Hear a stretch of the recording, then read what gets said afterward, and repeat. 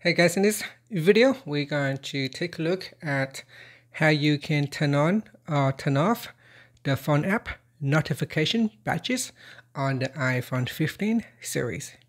First, let's go back to the home screen by swiping up at the bottom of the screen.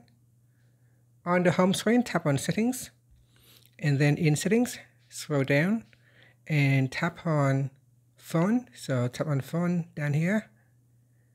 Next, tap on notifications and then go down to the alerts section and tap on badges.